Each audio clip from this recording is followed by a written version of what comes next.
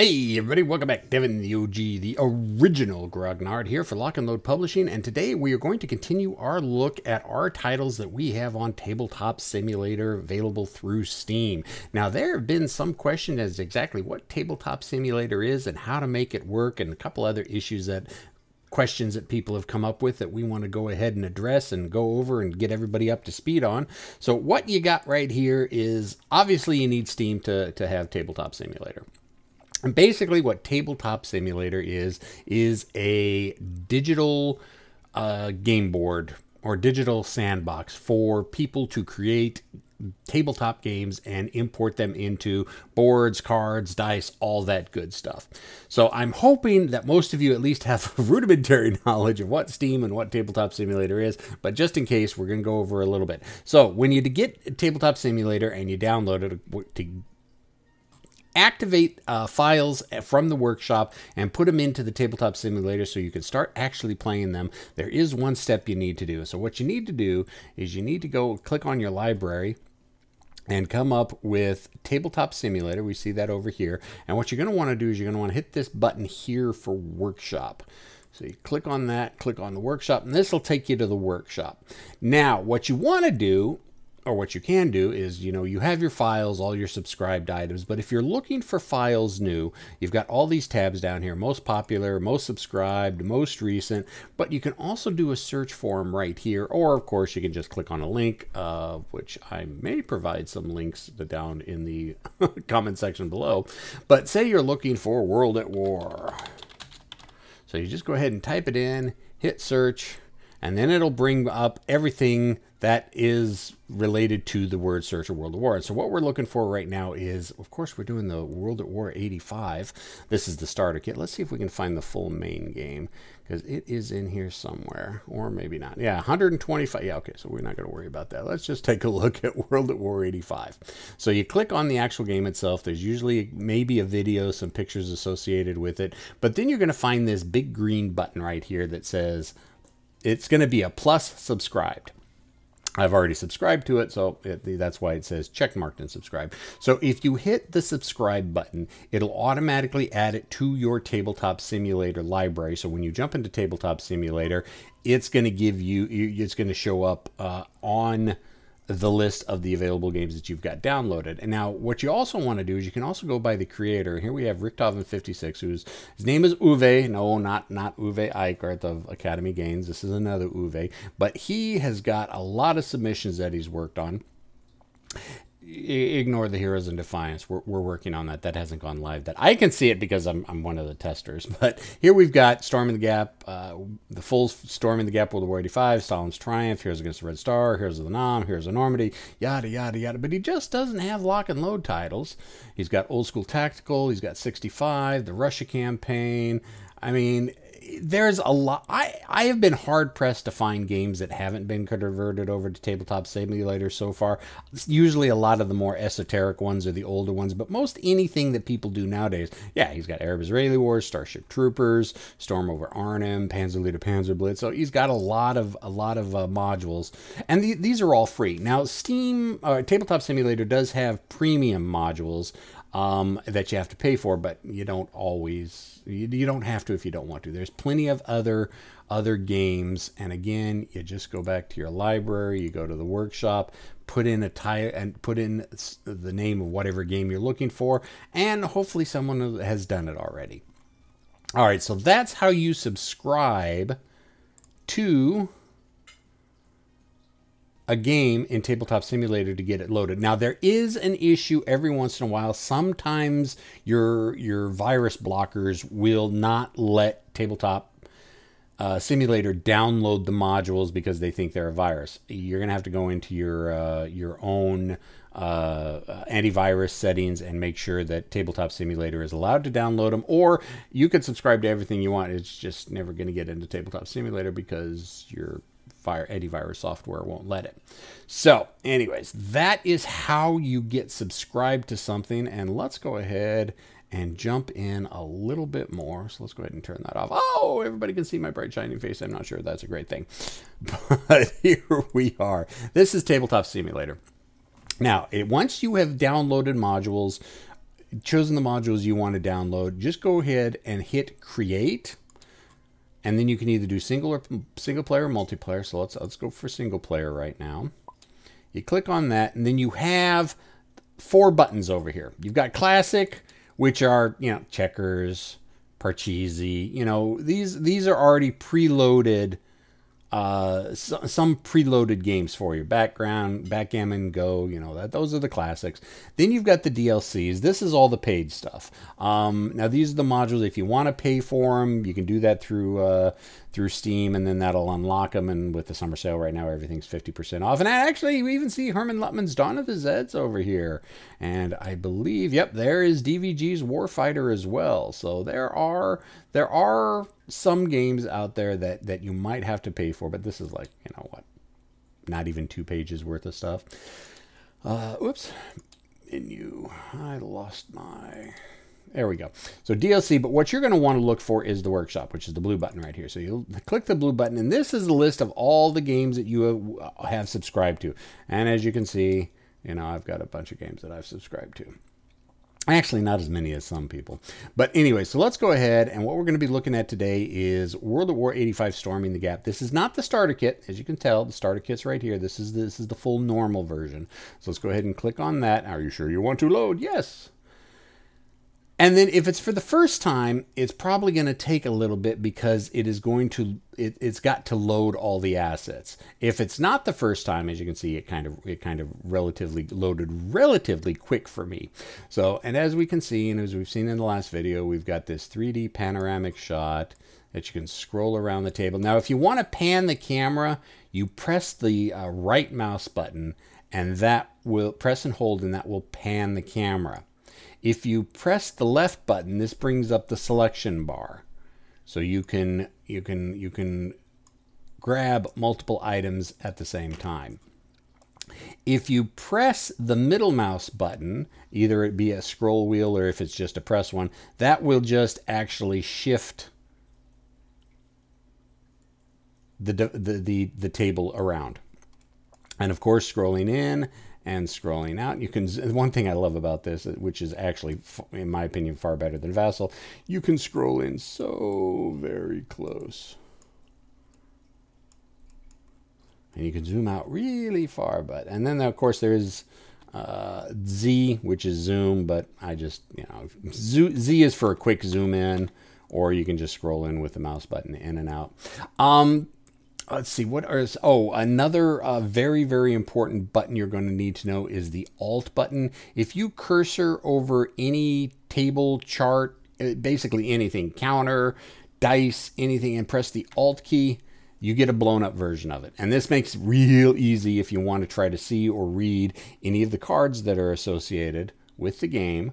You just hit the alt button and it brings it right up and as you can see, we've got a, a bunch of the cards from the game right here for your convenience.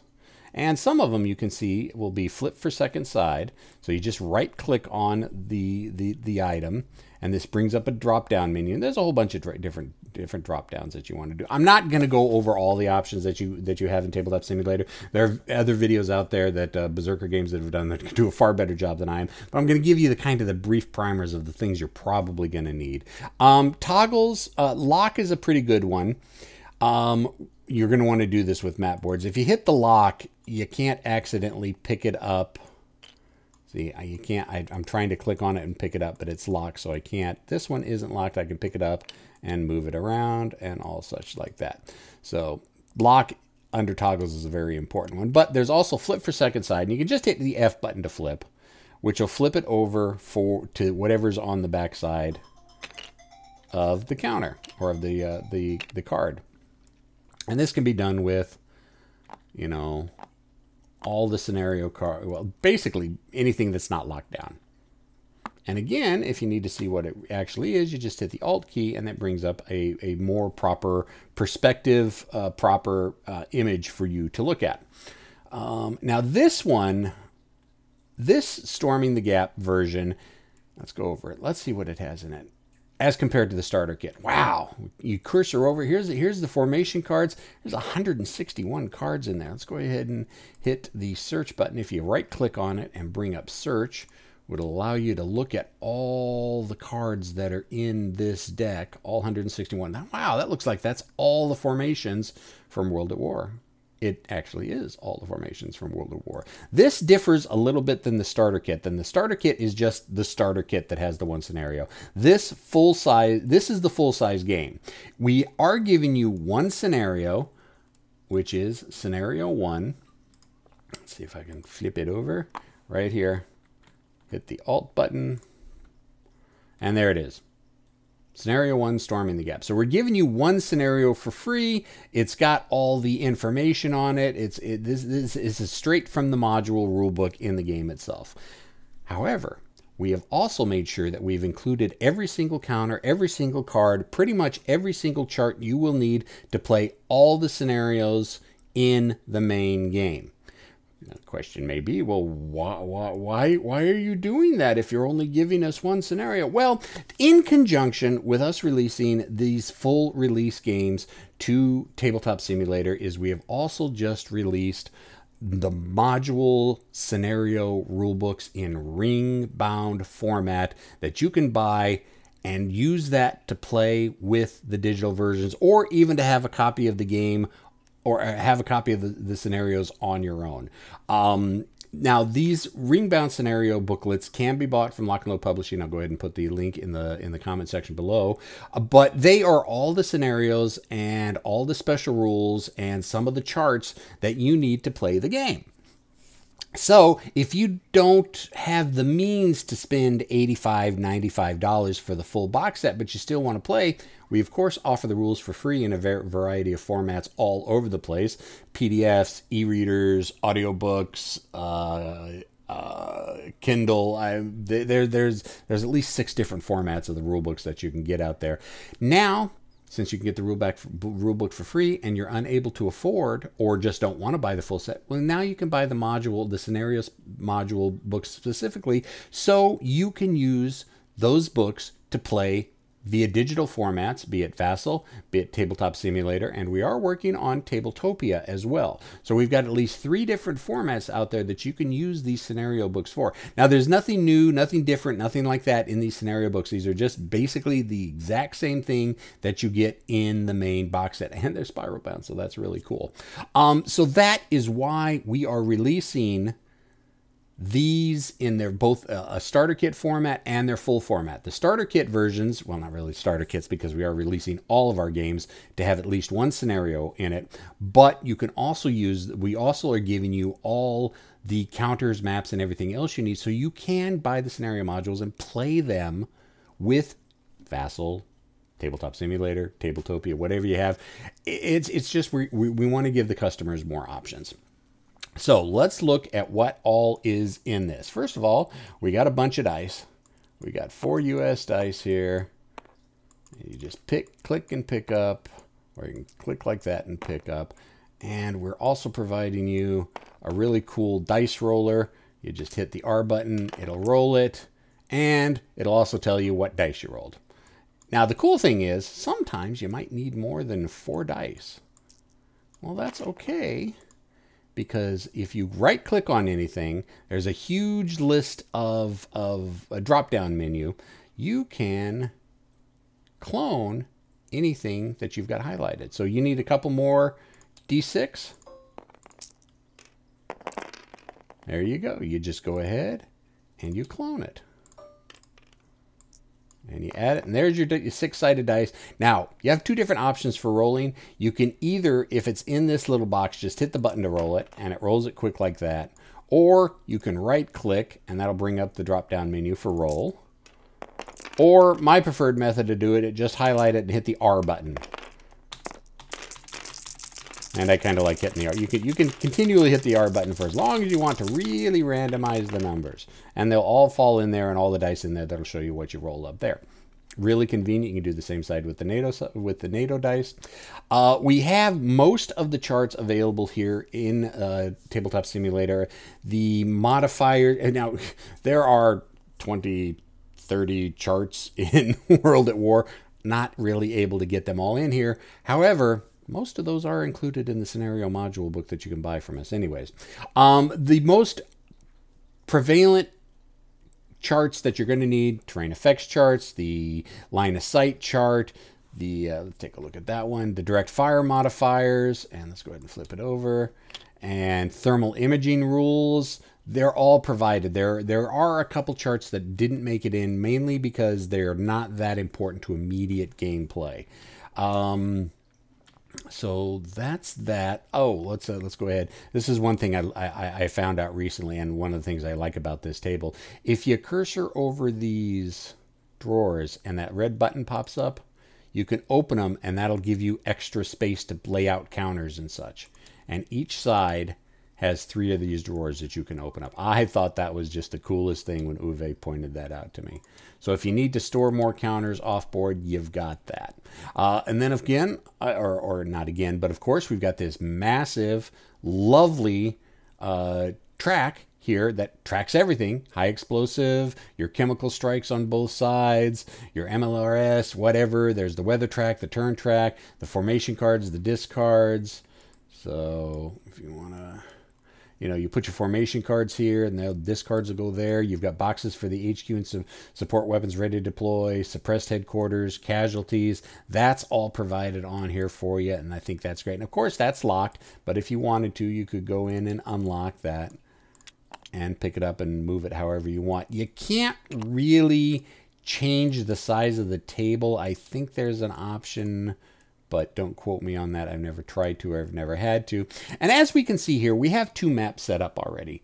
Map 1 and Map 2. Well, some of the scenarios require three maps or sometimes even four maps. You're not going to get all four maps on here. What you can do is, is what you do is you unlock it. And let's go ahead and take a look because we do have the map crate. So let's go ahead and search the map crate. Oh, look at this. We've got more maps in here. Now, we are providing both the winter and the summer version of each map and the Kickstarter exclusive map for World at War is included here as well. So basically you just need to decide which, or not decide, but look at what maps you need uh, and you don't want to delete anything. If if you need map one and two, and then say you need also map three for some reason, just make sure you don't delete anything because if you delete it, you can't. I, you can hit the re rewind time. So, like, say for example, you accidentally, oops, I accidentally deleted board three. There's the rewind time button that goes back about 10 seconds, and you can keep hitting that, and it does go back uh, quite a distance. But so you get, so obviously we cannot fit all three of these maps on this table? Well, what you do is you go ahead and you grab all three maps like this, right click on it, bring down the scale to the scale. Oh, I didn't grab map two. But you just scale the maps down however far you need to go, and this is why I suggested, whoops, not up, try to, okay, let's go ahead and go back in time a bit to where they're all, okay, so they're all here. Let's go ahead and make sure we have all the maps. Why is it, okay, do, do, do. Or you can stack the maps on top of each other. And if you hit G, oh, that, yeah, wow, that isn't, that, that doesn't work. Normally with decks of cards, if you have multiple cards, you can kind of hit the G button. But regardless, the scale button, you can use the scale button to scale the maps and the counters down to whatever size you need. And you can rotate the maps, like we have, we got the rotate option here. So you can rotate and scale the maps however you need, and that will get the maps to fit on the table. It's a little bit of work that you have to do on your own, but you know it's it's it's far less cumbersome than trying to uh, uh, pull out the game and set up the game on your own.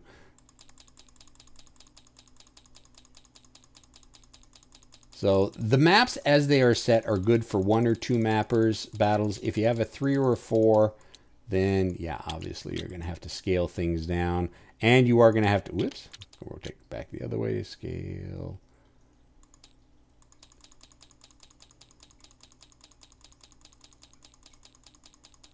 keep scaling them. It takes a little bit of work, but eventually you'll get the scale right. And there's not that many scenarios that you're going to have to deal with that with. See, that probably needs to go up just a little bit. Let's go ahead and move this map back into the map box.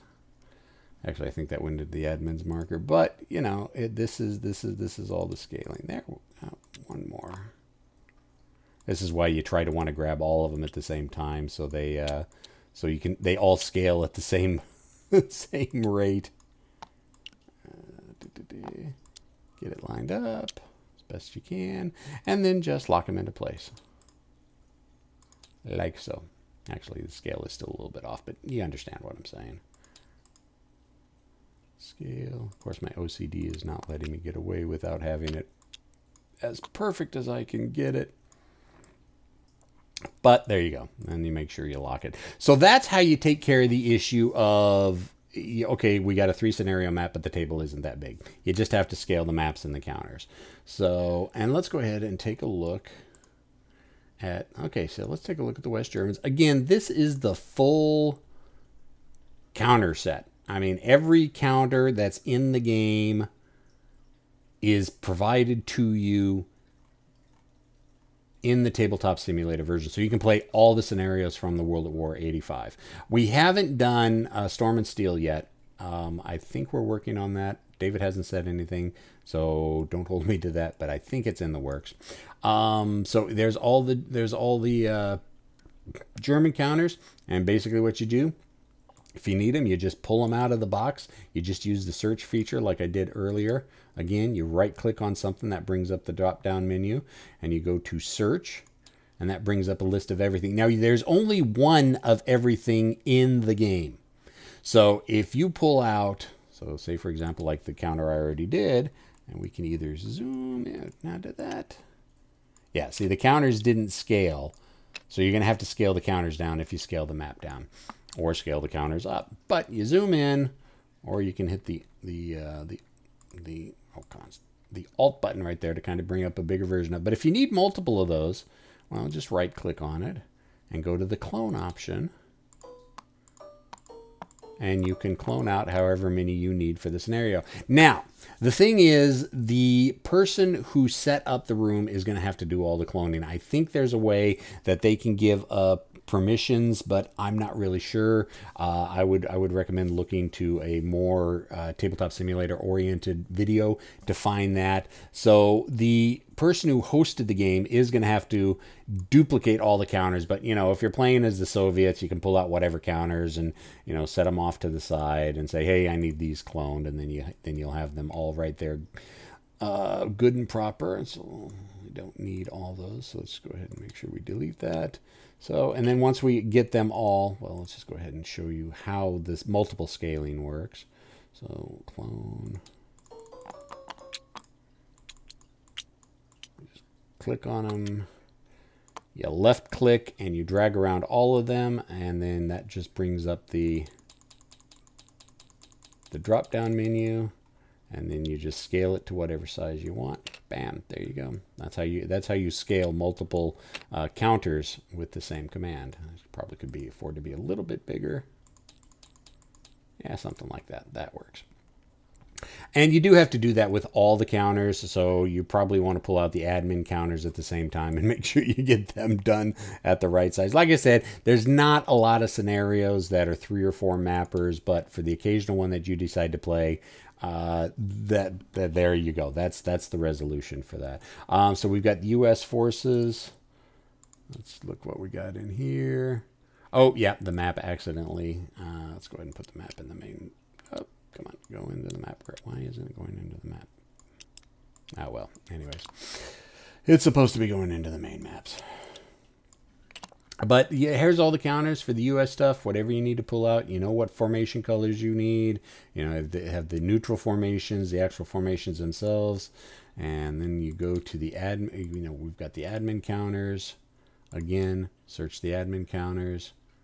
You know, all the admin counters that are in the game are available.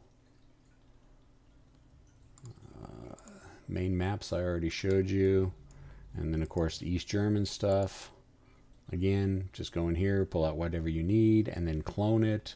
Uh, and if you accidentally do delete the counter you need, you pull that out. And oops, I accidentally deleted it. you just hit the time rewind time button here up at the top. Sometimes it goes into five seconds. Oh, come on.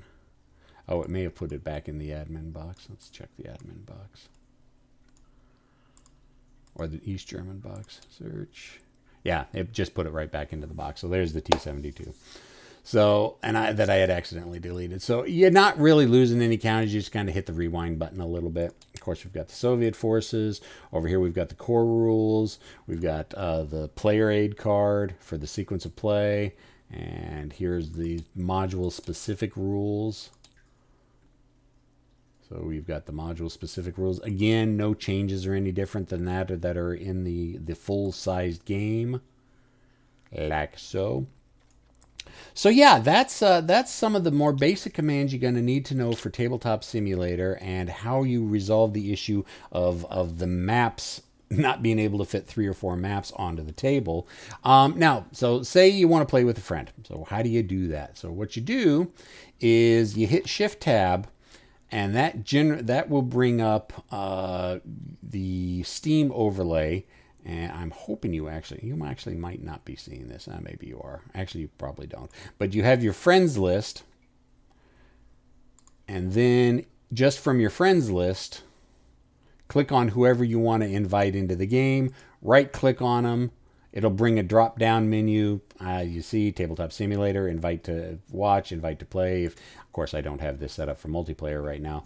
But so that's how you do that. You do that through the Steam overlay of Shift Tab. And as long as they're in the game, actually even if they're not in the game it'll go ahead and uh, pull them into the game and load the game up and then they'll jump in but you have to make sure that you've set the room to multiplayer before you start doing this um, there is a line of sight tool and again you may want to watch a more complete uh, video on the tabletop simulator abilities. You've got a whole bunch of options over here. Draw zone line flick combine text. You know you've got a whole bunch of different stuff over here you can play with. I don't know what most of those buttons do because i've never had a need to use them. But using one of these tools over here you can draw a line from the center of a hex to another center of the hex. So you at least do have a line of sight. Or just do what i do and put myself directly above the map, grab a piece of paper on my side and or a rubber band and physically physically do it like I were I was sitting at the table with a rubber band to, to check line of sight.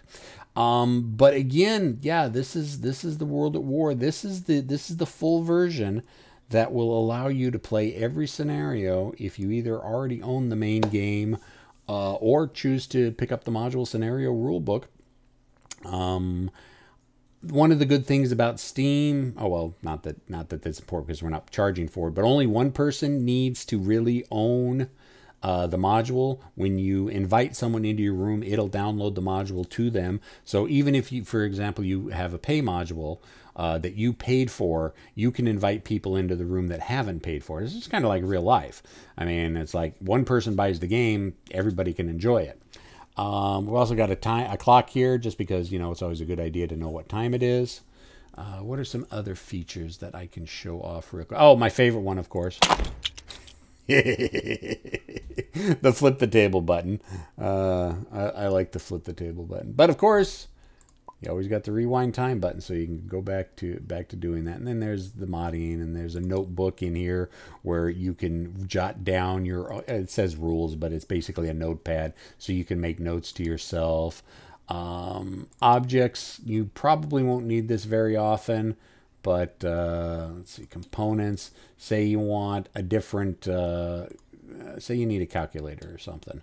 You can just pull a calculator drop it right onto the board you know, easy as that if you need a bag for whatever reason, uh, if you need a counter, you know, the clock, what have you. There's a whole bunch of options that Tabletop Simulator gives you. I just can't and won't go over all of them because most of them don't really pertain to our specific games. But yeah, that's uh, that's what we got here. Um, always it's best fused with voice comms. Again our discord channel has several voice comms that we don't mind people using. So just go ahead and pop over in the discord and i'll put the link in the chat below so you can come in and, and join our join our Discord. We like we like having people. It's been a little bit quiet here lately, but uh, this is World at War. This just got released like two days ago for the full version to go in in conjunction with either the people who own the full rules or the people who want to pick up the module, the spring, the spiral bound module rules on their and scenarios on their own. We're just giving more people more options on different ways that they can play, and so people can play the way they want to play. There's a lot of people that prefer Vassal. That's fine. I didn't can't say I prefer Vassal, but I've played I've used Vassal for such a long time. We now have got Tabletop Simulator, which is actually I prefer much better. There's there's one thing that Vassal does that Tabletop Simulator really can't do, uh, and that's when you uh, cursor over a stack of units. Uh, Vassal does the explosion, the exploding counter pile, so you can see specifically what's in. They can't really do that too much in uh, Tabletop Simulator, but really everything else, Tabletop Simulator does so much better uh, in my humble opinion. Um, but yeah, so whatever platform you want, we're giving you the option to play the way you want. I think that's about it. Questions, comments, concerns, complaints, criticisms in the comment section below. And let's see if I can find the button. See ya.